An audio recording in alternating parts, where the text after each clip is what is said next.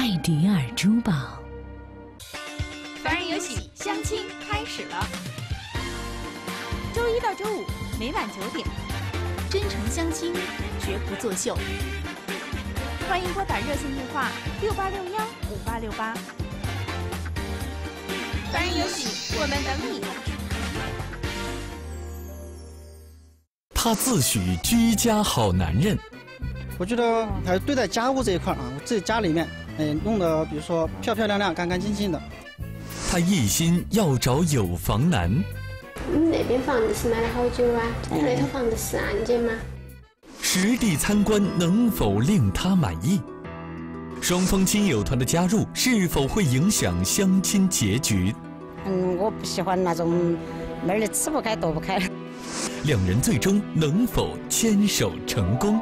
她是上过节目的刁蛮女嘉宾，这一次上节目是否会有改变？上期节目下来呢，这呃，我对自己的反思也比较多。但为何还是出现诸多状况？好像太凉了一点，是不是打的好累哦？说好听。刚刚就应该听我的呀。最终，刁蛮女能否赢得暖男心？凡人有喜即将为您精彩呈现。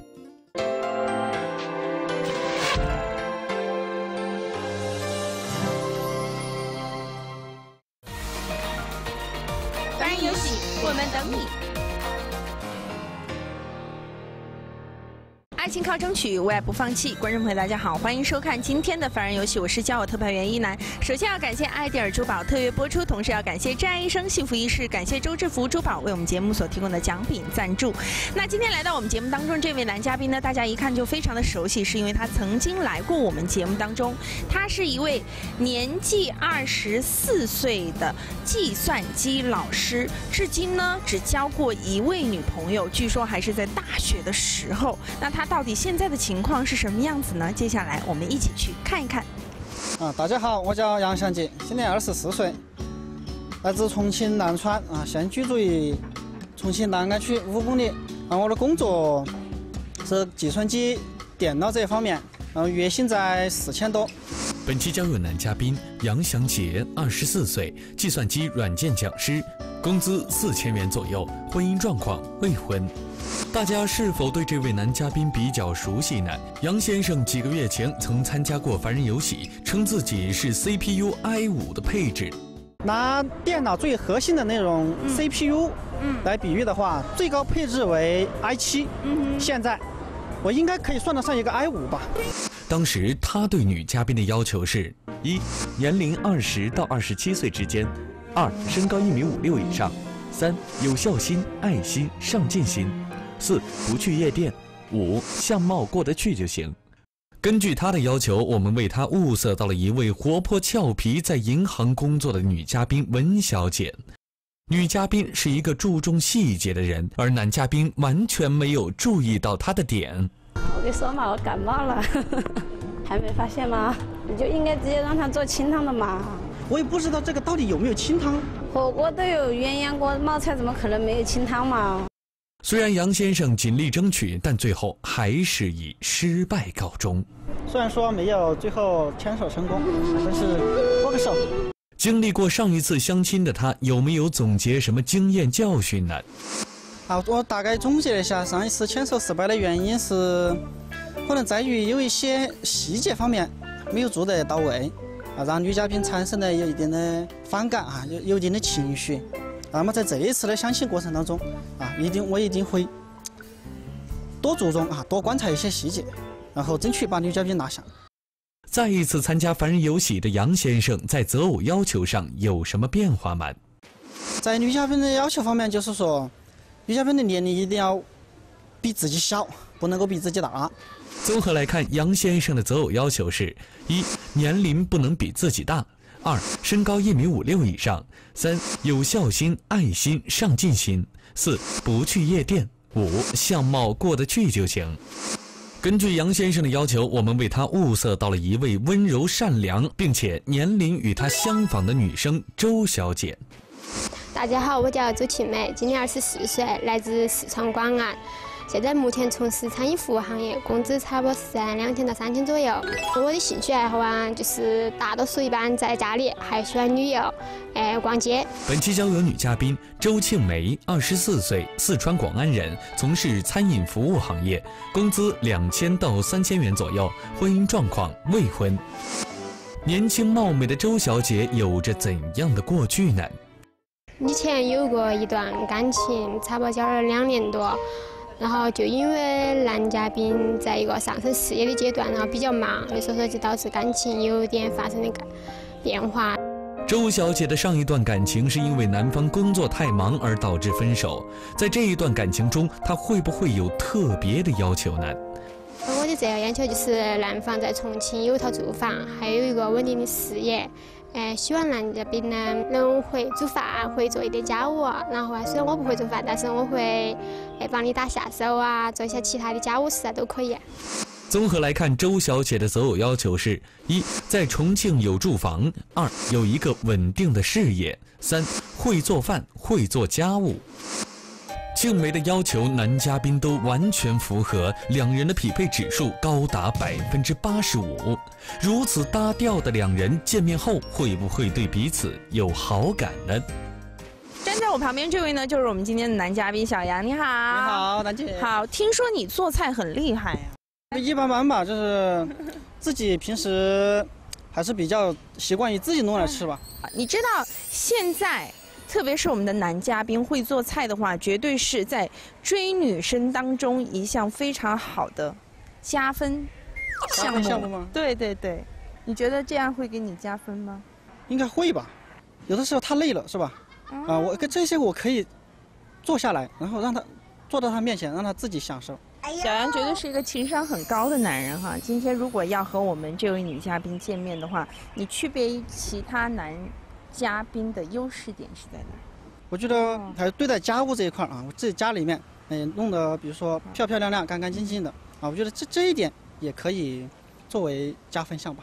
总结你刚才说的话啊，他是一个居家型好男人，所以今天我们一定会给你这个机会，让你好好在女嘉宾面前展示你非常居家的暖男的一面。现在呢，我们的女嘉宾已经在那边等待你的出现了。接下来你就去亲自接到他，好吧？好的，好的。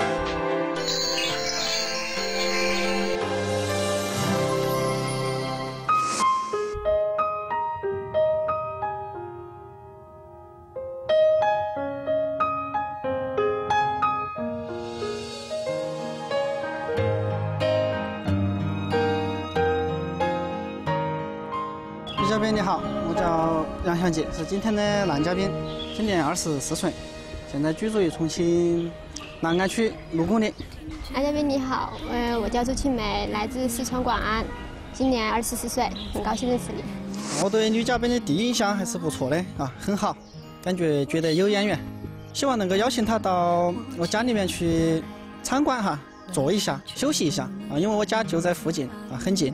第一次见男嘉宾呢，长相啊方面还身高方面呢都算还算可以啊，但是啊，像之前家里面介绍的有一个男生，都长得有点点像。男女嘉宾的见面被一旁女嘉宾的闺蜜看在眼里，来听听她怎么说。青梅呀，还是比较一个性格比较内向的人。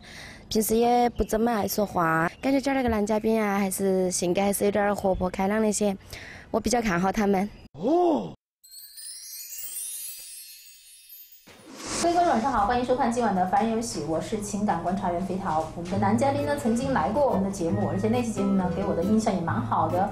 是一个相貌清秀、踏踏实实的年轻人，呃，不过我们的女嘉宾呢，哈，是第一次来我们的节目，呃，之前呢，我觉得也没有什么呃太大的问题，但是听到她说了一句话之后，我突然有一种不祥的预感，因为她说，啊，我觉得男嘉宾呢还是可以的，但是呢，我他很像我之前我们家里给我介绍的一个人，嗯，我的话说到这里就是点到为止了，可是我给大家翻译一下他的话的本意哈。我们家里给我介绍了一个男嘉宾同款的，但是我拒绝了，不然的话我就不会站在这里了。所以今天这个同款的男嘉宾是不是能够赢得我们女嘉宾的心？我觉得现在还真的是要打一个问号。为了展示自己的优势，杨先生把女嘉宾带到了家里参观。那是厨房哈，厨房。第一这个门是干嘛的？后面那道门，后面是一个后大儿，这里是厕所，这个门打开。啊，这个是这个是次次卧，当然这里面空空的空荡荡的。这里是我的卧室哈，晚上休息的地方，空荡荡的感觉，很简单，很简单。带女嘉宾参观完房间的杨先生，立刻去给庆梅切菠萝。这个贴心的小举动，会不会为他加分不少呢？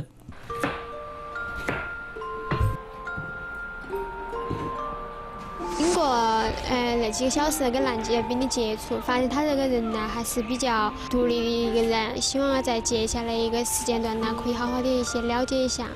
刚才参观完这个我们男嘉宾小杨的家，现在呢，我们先坐下来哈，坐到他家里，好好的再聊一下，然后待会儿看要不要一起做个饭什么的，好不好？好。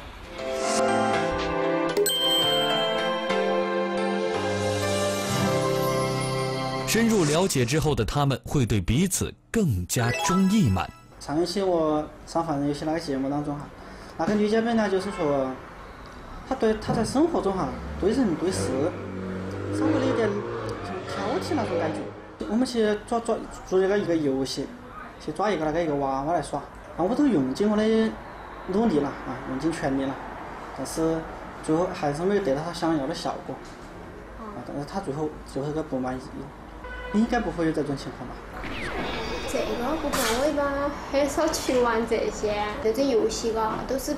凭一定的运气啊，不会说一定非要抓那个娃娃，反正关键是两个人都比较喜欢啦，有偶尔有那个兴趣啊，去抓下玩一下都可以啊。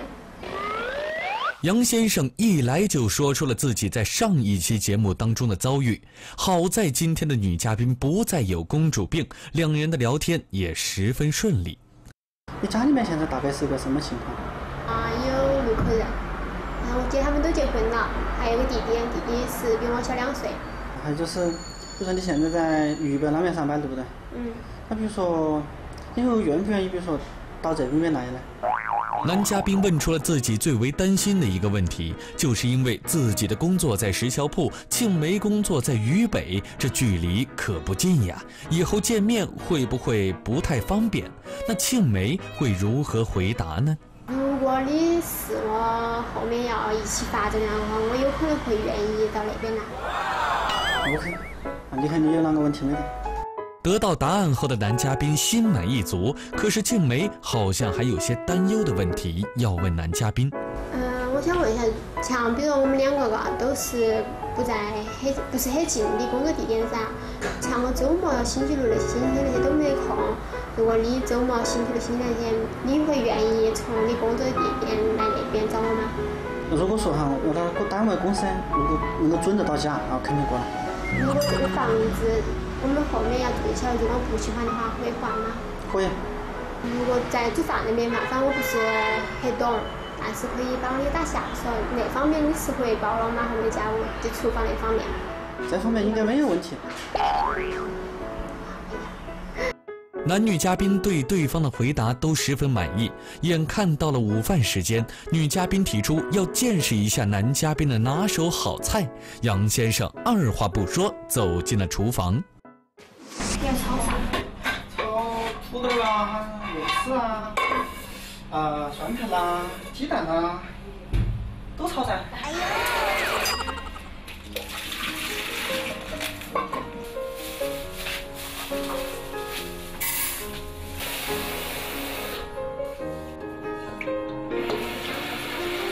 说他说他不会啷个做饭呐、炒菜那些，啊，但是他在对家务这一块啊，还是我觉得给人的感觉很好哈。好，现在，嗯，他们两位正在厨房做饭哈，用你的眼睛去感受一下，他们之间有没有那种，就是以后能够生活在一起的那种感觉？因为面对镜头做饭肯定都是很厉害的。感觉还是配合默契。有那种小两口的味道哈，有。我还有一个问题想问你，从你的角度，女人的角度，我很看好。为什么那么看好？因为感觉还是很不错。是因为他买了菠萝给你吃吗？不是，处事啊还是很好。嗯，哎，然后很细心很热情哈，很大方。主要是大方。此时，男女嘉宾正在做饭，家里却迎来了一位不速之客，男嘉宾的小姨来了。哦，这会对两人产生什么样的影响呢？你们认的是哪的人呢？四川广人。啊，好嘛，你在哪里工作呀？嗯，现在是在机场那边，江北机场那边。啊，干啥子的？嗯，餐饮行业。嗯因为我们侄儿是在石桥铺读大学，读大学时候在屋头住哈，一个房子也是我跟他看的嘛，参考的哈。在我们一个小区，我我们是三楼，他是一楼。你觉得我们哪个侄儿如何呀？嗯，还可以。从小啊哈，妈老汉儿都在外头打工，他自己一个人反正还是比较独立嘛，也也比较懂事。小姨首当其冲问起了女嘉宾的情况，女嘉宾也不甘示弱，句句切中要害。你那边房子是买了好久啊？就是他们那个是，他是去年买的。去年买的。哎，也是属于那种是二手房啊，但是觉得住起来出行很方便，他觉得。嗯。他那套房子是按揭吗？不是，全款。全款。哎。那个你放心，还有一个他们妈和他们爸爸幼儿远在浙江那边工作哈。意思他们跟父母都是分开的噻，就是只有到了过年的时候嫁他们。哎，都是。哎呦。他应该是跟父比的话，还是你那个小姨要比较还是要亲一些。那个不是那个回事，因为毕竟嘛，他在这里读书嘛哈，进处又在我那点嘛。还有个他个人比较耿直，啊，反正一个确实比较像个虚虚话话，觉得哎，或者。讨女娃儿的欢心啦，很会说，他不是那种是很实在的做一个娃儿，跟你说嘛。我们温柔的女嘉宾一坐下来跟小姨的交流，到真的是句句都切中要害，好贬是非常直接。啊，男嘉宾的那个房子是什么时候买的呀？啊，是不是全款呢？以后会跟父母住吗？每一句话都是直指未来生活的重要的指标。至于说他是不是对男嘉宾感兴趣呢？我觉得目前还要再观察一下。小姨和女嘉宾深入交流之后，我们想要了解一下小姨的想法。您从长辈的角度来评价一下今天这个姑娘怎么样？现在他们在家做饭，我们在外面完全听不到我们说悄悄话，好话、坏话我们都要听。可以，今天这个女嘉宾，因为我觉得她比较大方，又又不拘小姐。嗯。哎，因为我们家里都喜欢那种，嗯，哎，随和的，随和的，哎，大方的。说让姑娘随和，马上来普通话了。好，你们家最不能接受媳妇儿是什么样子的？嗯，我不喜欢那种妹儿吃不开、躲不开的。哦。哎，就是比较娇气的。哎，我喜欢那种落落大方的啊。嗯。哎，带去煮饭啦，或者说。啥的家务啊，哎，任何事情都做，但是做得好，做得不好都是另外一回事，只要他肯做。我觉得哈，咱们老百姓选姑娘就是这样的，就一定要接地气儿，懂生活啊。这个成家了又是另外一个样子，得会做饭吧，是吧？有洗衣机你能洗衣服吧？不要啊，十指不沾阳春水，是吧？做不好没得关系，只要他那个态度。那您觉得咱们今天这个女嘉宾态度怎么样？今天那个女嘉宾态度特别好，嗯，我给她九十八分，九十八分，满分一百分的话，您就差两分了哈。好，现在我们回去看一看他俩把饭做好没有哈。看来您还是很喜欢他的啊。开始我还蛮担心说女嘉宾跟男嘉宾之间的交流太过于功利，但是看到他们俩聊天呢，好像也挺开心的，做饭呢也非常的有默契。而且女嘉宾也说，虽然现在我们哈这么三个奇怪的点，一个人在那个石桥铺，有房子又在那个南平，呃，女嘉宾自己呢又在江北，但是呢，呃，也是愿意换工作的。男嘉宾呢也说以后哈，如果说时机成熟的话，可以换房子的，一切都在往着一个很好的方向发展。所以说今天有可能小姨会如愿以偿哦。男嘉宾的小姨给女嘉宾打出了九十八分的高分，看来很是满意。与此同时，男女嘉宾那边的菜也做好了，两人有没有什么新的进展呢？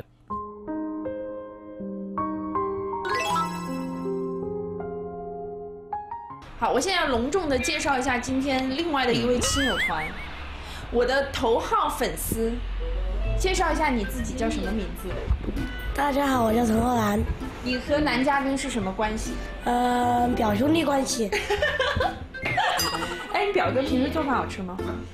没吃过，没，他都没有做过饭给你吃啊？你过去，你过去吃吃，尝一点点。好吃吗？好吃。觉得他发挥超常哈。有没有看到你旁边那个女士？看到了。怎么样？还行。还行啊。如果他做你未来表嫂的话，能过你这关吗？能。为什么？爱是没有理由的，对不对？这个突然出现的小朋友是男嘉宾的表弟，看来男嘉宾一家人都特别喜欢庆梅。这么多亲友团的出现，会对两人的选择产生影响吗？好，我刚才跟你表弟在旁边聊天，他说我很胖。很可爱的亲友团啊！今天我们来了特别多的亲友团，有男嘉宾的亲友团，女嘉宾的亲友团。我可以负责任的告诉你们，你们双方的亲友团给你们打的分都很高。所以现在呢，我们也想寻求一个结果，就是你们今天到底能不能够牵手成功？啊，这饭也吃了，男嘉宾的家，我们女嘉宾也看了哈，男嘉宾也了解了女嘉宾。我现在先确定一下，男嘉宾小杨你的想法，你是希望他留下来？还是转身离开，是做你的女朋友，还是你们只做朋友？我希望她留下来做我的女朋友。哦，好，确定了你的想法哈。好，我们现在就要等你的回答了。家里钥匙带了吗？带，嗯，随身携带。这样吧，我们把这个钥匙先交给你，给你三分钟的考虑时间。如果说你愿意的话，三分钟之后自动开门进来。你将成为我们小杨的女朋友，一起走下去。不愿意的话，请留下钥匙，明白吗？嗯，明白。做出选择之前，有没有什么想对他说的？这段时间的接触啊，嗯，对你感觉啊，印象啊很好，就是很喜欢你，希望你能够留下来。嗯，我再考虑一下，跟我们亲友团商量一下。嗯，感觉怎么样？嗯，没有太多的感觉，感觉很像朋友之间的关系。其实我觉得还行啊，啊，你可以考虑一下，反正还年轻，工作也比较稳定。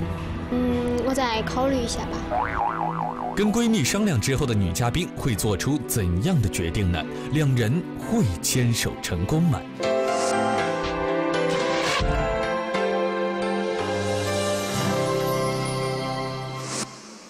我曾经想过，在寂寞的夜里，你终于在在我的房间里。你必须。你觉得女嘉宾会走还是会留下？应该会留下来。紧紧抱我在你的怀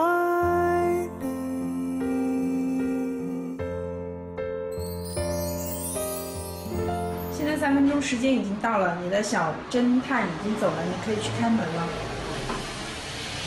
很期待哈，很期待。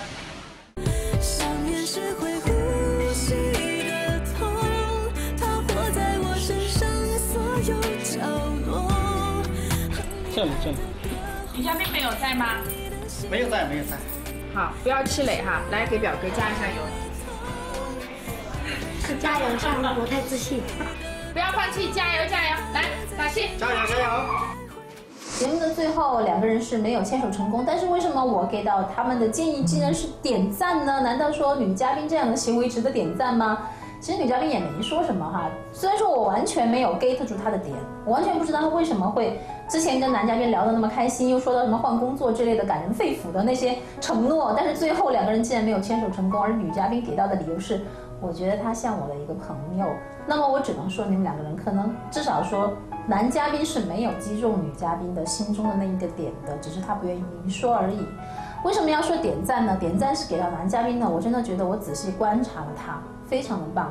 因为他是一个男孩子单独住一套房子，我们可以看一下那个房子是收拾的很整洁的，而且不是那种就知道我们要去，然后所以把它收的很整洁。因为一个房间的那种井井井有条的那种程度啊，你是可以看得出来，它是长期如此的，还是偶尔这样。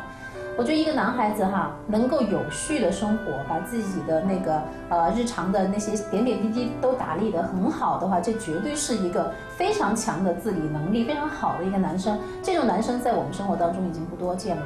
然后男嘉宾的工作和外形，我觉得都是蛮 OK 的。实话实说哈，我觉得配我们的女嘉宾，虽不说绰绰有余，那绝对也是很登对的。所以我都在跟编导讲，我们再物物色一下有没有更好的，甚至身边的朋友来介绍一下给这个男嘉宾。所以电视机前的单身女观众，如果喜欢这一款经济适用型暖男的话，我认为可以联系我们的栏目组。好，现在我们来看一下今天的第二对，他们能不能够牵手成功呢？她是上过节目的刁蛮女嘉宾，这一次上节目是否会有改变？上期节目下来呢，这呃，我对自己的反思也比较多。但为何还是出现诸多状况？刚才凉了一点，就是打的好累哦，说好困。刚刚就应该听我的呀。最终，刁蛮女能否赢得暖男心？凡人有喜即将为您精彩呈现。凡人有喜，相亲开始了。周一到周五每晚九点，真诚相亲，绝不作秀。欢迎拨打热线电话六八六幺五八六八。凡人有喜，我们等你。好的，马上进入到我们今天的第二轮相亲。第二轮相亲当中的女嘉宾呢，大家看到她之后会联想到一个词语，就是“作”。没错，她就是上一期出现在我们节目当中非常作的一个女孩子。今天又来到我们节目当中。接下来我们先来看一看她最近的情况是什么样子。大家好，我是林可，很高兴又来到了凡人有喜。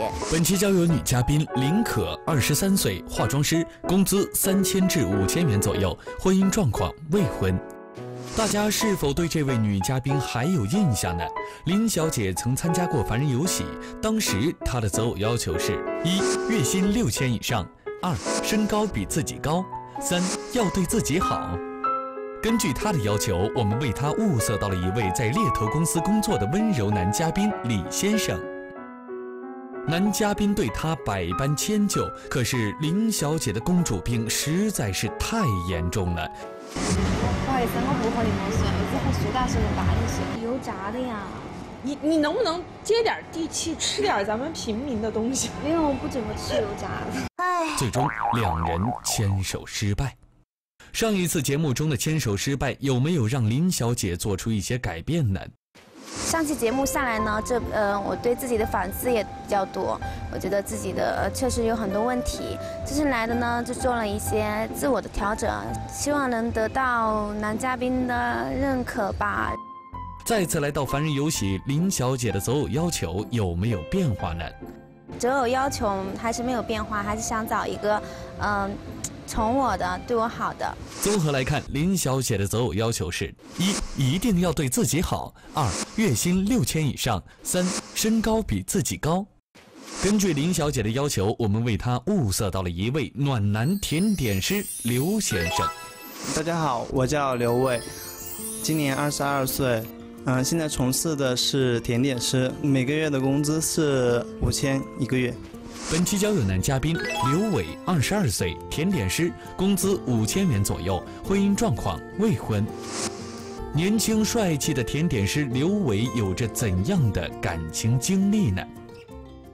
我没有任何的感情经历，因为我身边的女性朋友比较少。我是一个甜点师，嗯，所以说我平时的话就比较喜欢研究这个甜点的一些做法。如果说做我女朋友的话，她就一定会很有口福。这样的福利会不会让很多女生心动呢？她的要求，林小姐能符合吗？我的择偶要求的话，就是身高一米五五以上，呃，年龄的话正负两岁都没有关系，嗯，主要是漂亮就可以了。综合来看，刘先生的择偶要求是：一、身高一米五五以上；二、年龄差在正负两岁之内；三、外形漂亮。今天的男嘉宾其实非常的有亮点，因为我知道有好多女生都跟我讲过，很想找一个厨师或者是一个甜点师来当自己的另一半，因为觉得可以吃不尽的美味哈。但实际上呢，我知道有的大厨呢在家里只吃最简单的饭菜，我不知道甜点师平时有没有兴趣给自己的女朋友变着花样做甜点。今天的男嘉宾能不能够经得起我们的嗯挑剔女嘉宾的挑剔呢？让我们接着往下看。两人的要求都基本符合，匹配指数高达百分之八十，俊男靓女的组合会擦出怎样的火花呢？好，可可，我呃有一段时间没见到你了哈。问你最近还喝巴黎水吗？怎么说呢？上一期的一些小的习惯，然后我觉得，呃，就是你们都说挺好的，然后我就试着尝试的改变自己。那今天呢，我们的编导真的很用心，帮你找到了一位非常体贴的男嘉宾。所以接下来呢，我们会给你这个机会，让你去和他见面。但是真的，听姐姐一句忠告，嗯，别太作了，再作的话就把别人给作跑了。那我们可以先偷偷去看一下这个男嘉宾要怎样嘛？我不想就这么像上次那样，就两个人这样比较生硬。好，这次你就占主动嘛，好不好？好，待会儿呢，我们会悄悄的上去先看一看男嘉宾。好好，加油，加油！各位观众，我们的巴黎水女嘉宾又来了。哎，我真的看到她，我就好担心你这次又要怎么做啊？上次你是做的没够没够的啊！一男也问出了我的一个疑问，说你现在还喝巴黎水吗？姑娘回去以后也是经过了一些反思哈，呃，可能巴黎水、苏打水什么的我也不强求了，但是我还是要去找那个迁就我的人啊，这一点我倒是觉得没错。如果说你觉得这个东西就是你这一生最追求的哈、最重要的一个呃择偶的条件的话，那真的是不要轻易的去改变它。可可一来就提出要看一下、考验一下男嘉宾，而此时的男嘉宾毫不知情。面对考验，他会如何应对呢？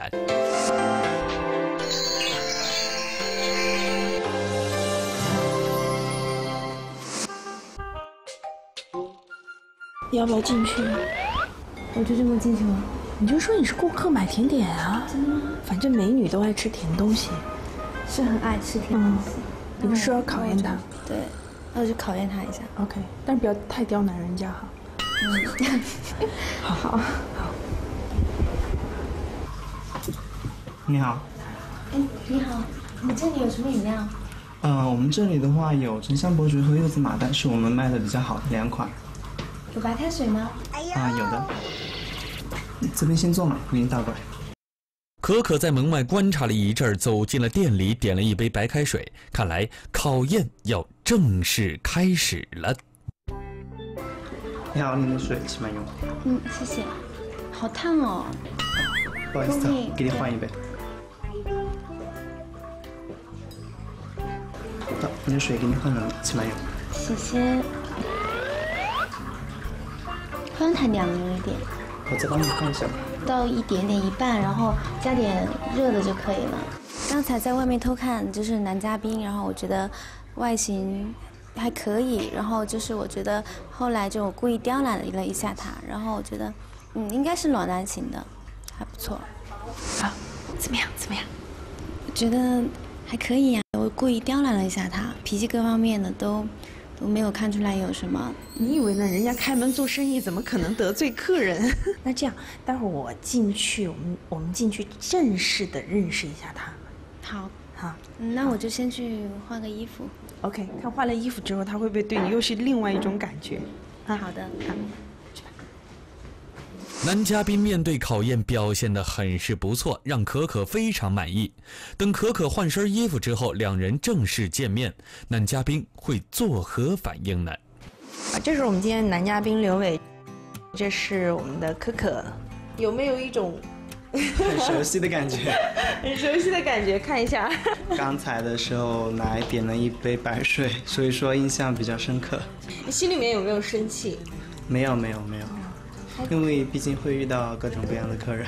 嗯，接下来呢，你们马上就要在这边开始你们今天的约会和见面。好，接下来我就把时间交给你们。当我晓得就是那个是我们今天的女嘉宾的话，我还是比较吃惊。然后她呀也是属于甜美型的，属于我喜欢的那种类型。呃，所以说我还是比较心动。男女嘉宾的见面还算不错，男嘉宾为了展示自己的长项，决定与可可一起做一道甜点。甜蜜的约会开始了。打蛋奶的话，需要顺着一个方向，这样一直不停的打，不停的打，顺着一个方向。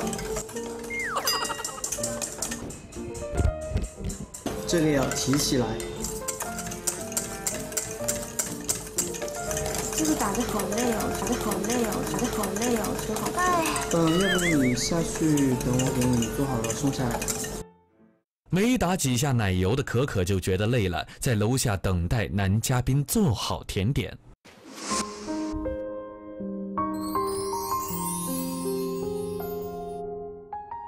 这是你亲自给我们女嘉宾准备的，是不是？嗯，对，你尝一下，叫什么名字啊？抹茶叶子是我们店里的招牌。也是你的拿拿手手的。对，好吃吗？嗯，我觉得很好吃，什么味道？就是那种有点像冰淇淋，但是就是入口即化。我会做甜点，男朋友太好了，有这样一个人。坐下吧，你们聊一聊啊。男嘉宾做的甜点真的很好吃，而且他能够亲手为我而做，我觉得我还是很感动的。可可对男嘉宾亲手做的抹茶叶子赞不绝口，可是之后的聊天却不那么顺利，究竟发生了什么呢？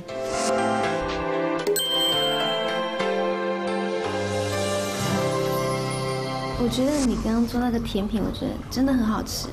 你们这个店的那个，我觉得风格我很喜欢，很浪漫，很就挺有格调的。一个月收入多少？可可一坐下来就切入重点，让男嘉宾有点措手不及呀。嗯，你说的是店里面的收益吗？对呀、嗯，这个的话要我们老板才知道，我也不是很清楚。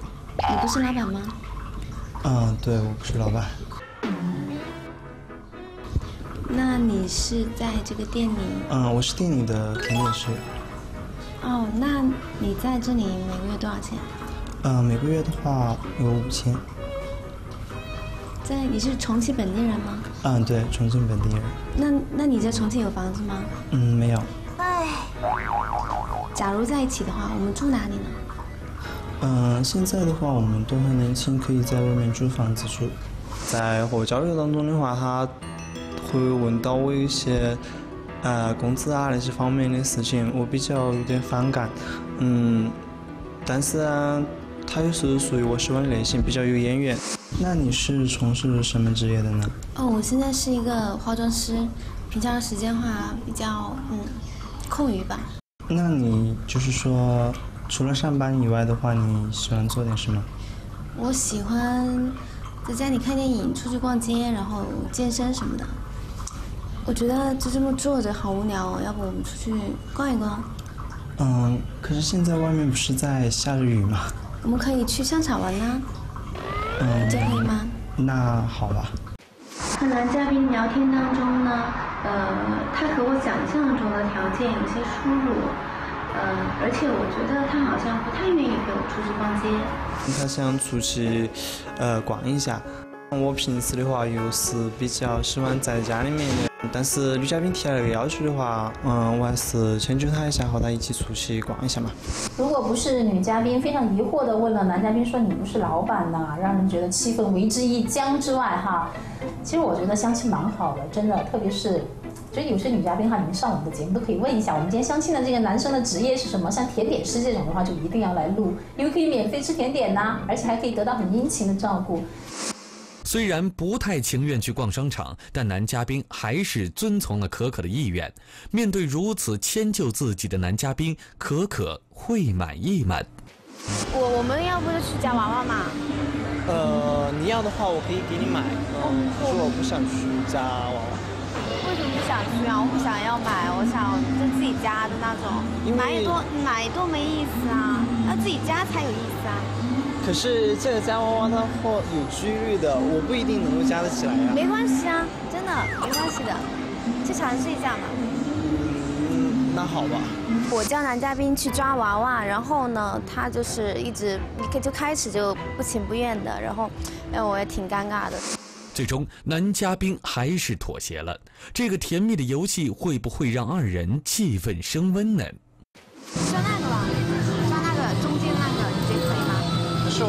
是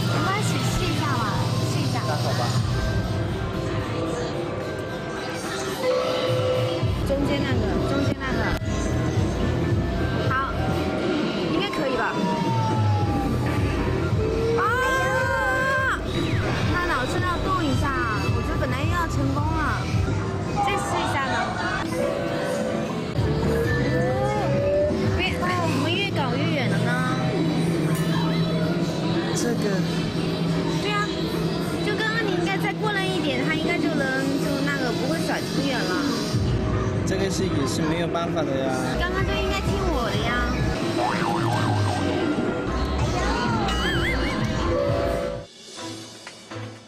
反正都抓不起来。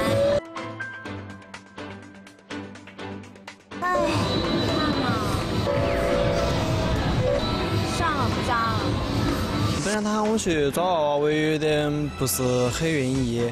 嗯，但后头没有抓起来，他还有点不高兴的样子。本来那个抓娃娃都是凭运气的事情，抓不抓上来的话也不能怪我。天哪，又是娃娃，我真的是无语了。我觉得我们的女嘉宾呢，就是为了娃娃而生的。上一次的节目呢，是觉得男嘉宾没有买大娃娃，而给而坚持送他那个小娃娃，所以他很怒。这一期呢，又是开始发作了，觉得男嘉宾没有帮他抓到他想要的那个丑娃娃，那也是不行的。哎，我真的觉得我们的节目看得我好心累啊！观众朋友们，你们心累不累？遇到一个这样的女嘉宾，一定要跟娃娃杠上了啊！我觉得我们的男嘉宾也真是不容易。像这样一个女生，你还有追求她的欲望吗？抓娃娃的过程并不太顺利，男嘉宾拼尽全力也没有夹起来，可可会不会因此不高兴呢？现在还剩那么多币，你们是确定不抓了吗？看你们抓了那么久都没抓上来。对呀、我觉得抓不上来了，这个这不好玩。不好玩，你要不要再去试一下？不抓了吧。本来这个抓上来的几率就小，也不一定，嗯，也没有办法。那剩这么多是给我吗？好，这样你们现在呢也休息一下，看一看对方适不适合自己。待会儿呢，我们来做出今天见面的决定，好不好？今天跟男嘉宾相处这一天下来呢，我觉得，呃，他脾气确实不错的。然后，但是呢，呃，可能在他不擅长的一个领域下，他可能是不太愿意陪我去，呃，去做一些事情。然后，嗯，呃，可能我会考虑一下吧。但觉得他今天确实，嗯、其他的很很很棒，很不错。他那个就是说性格上的东西的话，我觉得后期我们可以再磨合。嗯，所以说我还是想再争取一下。面对从一开始就心仪的女生，男嘉宾决定争取一把。他会使出怎样的方法来打动女嘉宾呢？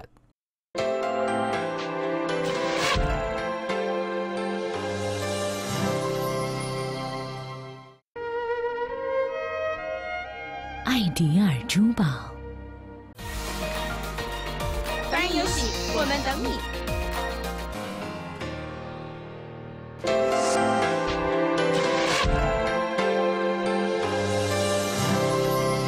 好的，马上进入到我们最后的决定时间。如果有什么想要表白的，现在都可以表白。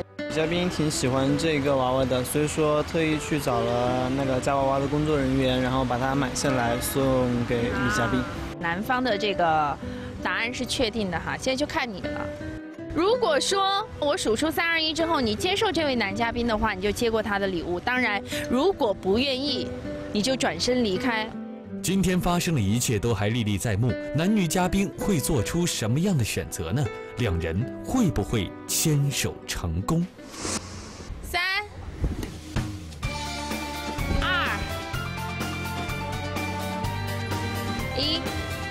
请做出选择。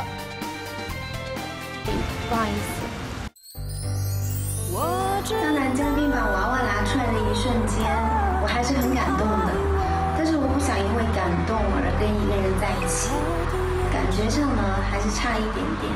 今天的最后，我们的男女嘉宾是失败了哈，没有在一起。今天的两对都这样。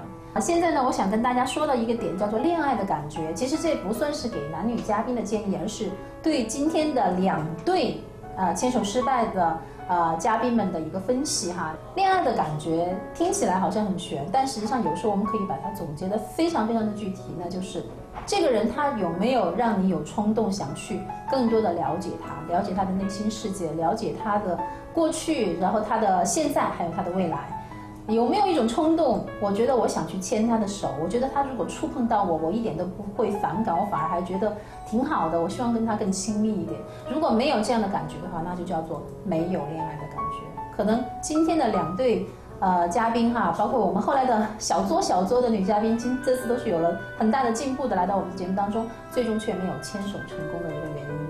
祝你们在现实生活当中都能够找到让你们有恋爱的感觉。那么节目播放到这里，交友特派员一楠为大家播报一则线下活动公告。我们的重庆市首届婚礼主持人大赛现在已经开始火热报名当中。只要你有梦想，那就赶紧报名。只要您报名参加我们的比赛，就有机会获得我们专业团队的量身打造，更有机会获得我们重庆电视台都市频道《凡人有喜》栏目的线下活动主持。给自己一个家喻户晓的机会，可以通过我们屏幕下方的报名方式拨打热线电话参与报。报名，我们希望你能够在这个平台上获得自己的梦想。Hello，大家好，我是相亲特派员林欢。那自凡人有喜开办大型的线下相亲活动以来呢，我们已经为众多的单身男女朋友啊寻找到属于自己的有缘人。那么在今年的五月份呢，应广大观众朋友的要求呢，凡人有喜将会在五月二十号的当天呢，在重庆渝北区的力帆红星国际广场的玫瑰天街举办一场名为“五二零玫瑰之约”的大型相亲会。那么目前仍是单身的您，还在交接等待。属于您的爱情吗？那就赶紧拿起您的手机哈，通过我们屏幕下方的“凡人有喜小红娘”的官方微信来报名参加吧。爱情靠争取，为爱不放弃，凡人有喜，我们等您。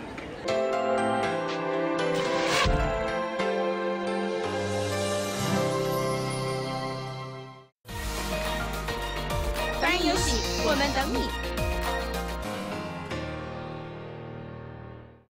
他是两百斤的胖小伙儿，为何却做了幼儿园老师？幼儿园体育老师的。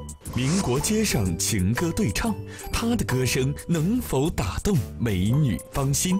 非常惊艳，很漂亮。女嘉宾为何提出这样的质疑？你到底是属于节食型的还是虚胖型的？体力大考验，他的努力能否抱得美人归？这身肉还是应该减一减。她是温文素雅的婚礼司仪，为何却要扮演霸道总裁？面对她的精心安排，美女嘉宾为何却连连拒绝？真真不行，真不行！我看你吃吧，行吗？真不能再吃。特别的互动方式能否让两人消除隔阂？最终，他的真情告白能否成功牵手？凡人游戏，明晚九点精彩呈现。